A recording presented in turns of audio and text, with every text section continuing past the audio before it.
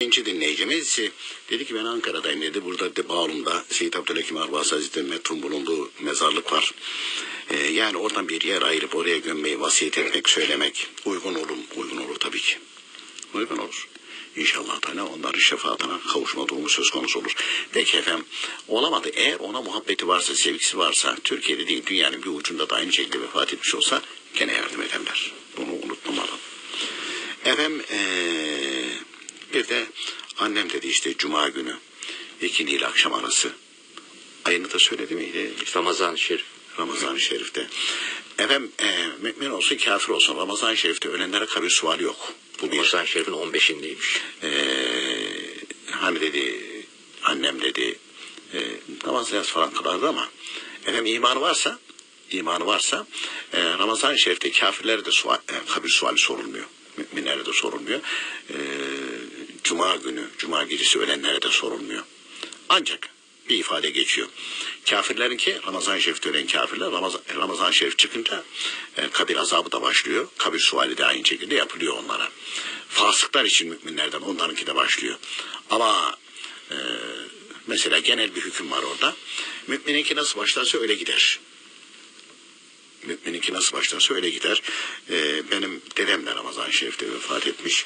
Yani Ramazan-ı Şerif'te vefat etmek e, kitaplarda mesela metüsena ediliyor. İnsan kıpta ediyor, imreniyor. Ancak şunu da unutmamak lazım.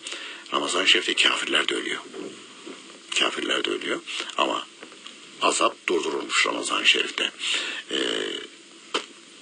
kabir suali de yok.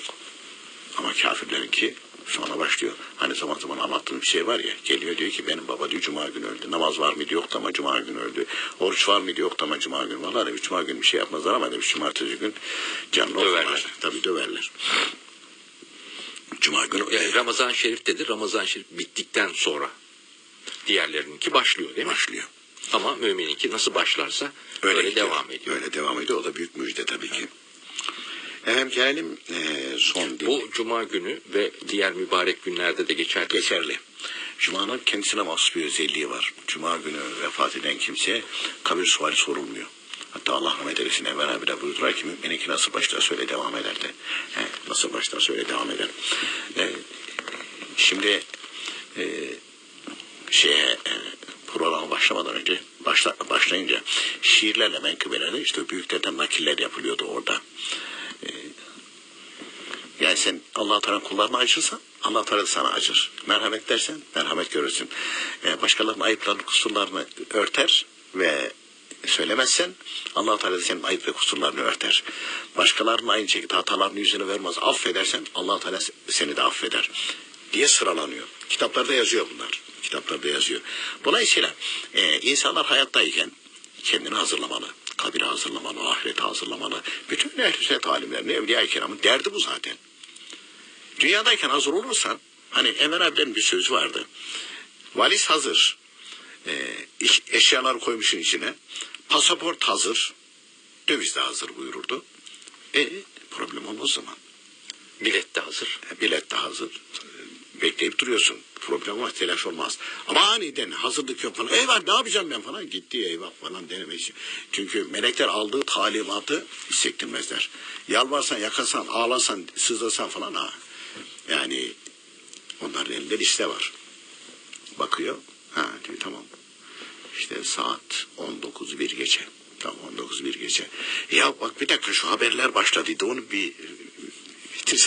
İkinci habere geçirdik. Yok. o saatte küt yağlı. Çünkü e, o kadar kesin net ki İmam Rabbani Hazretleri sekerat-ı mevt halinde abdest tazelemek istiyor. Tam hazırlık yaparken vazgeçiyor.